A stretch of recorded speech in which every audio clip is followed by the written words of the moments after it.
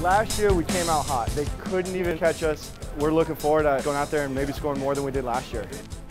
And last year they blew us out. So we scored one goal in three periods, unacceptable. We're faster, a little bit younger. There are these, you know, intangibles that they just can't keep up with. This is the only time that lawmakers don't want to get checks from lobbyists.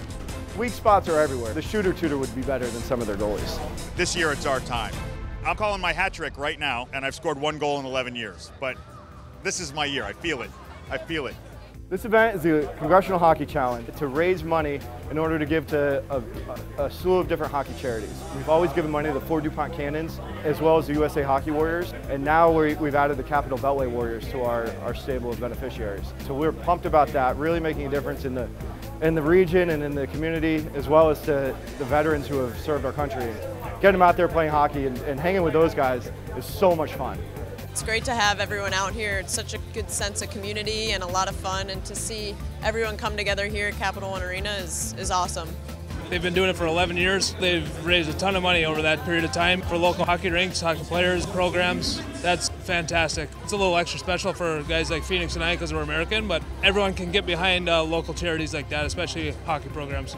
It's great to be a part of, so great to be here and great to help out. This evening, Capital One Arena is the site for hockey close by the hill as the lawmakers face off with the lobbyists. They've been going after one another since 2009, raising money for local charities and scholarship funds, all the while getting a little extra exercise for themselves. I have a bunch of help with this broadcast tonight. Alan May is inside the glass for us. Hey, I'm here with Phoenix Copley and Matt Niskanen, guys. How often on your night off do you have to go out and watch hockey?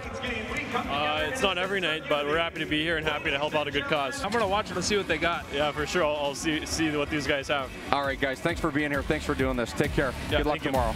Thanks.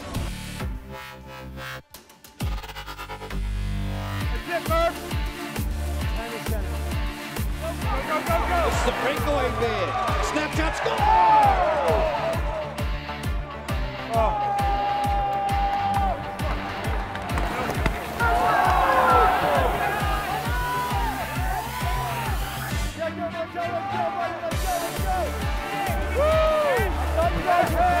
lawmakers behind the hat trick of Rob McGregor are 4-3 victors.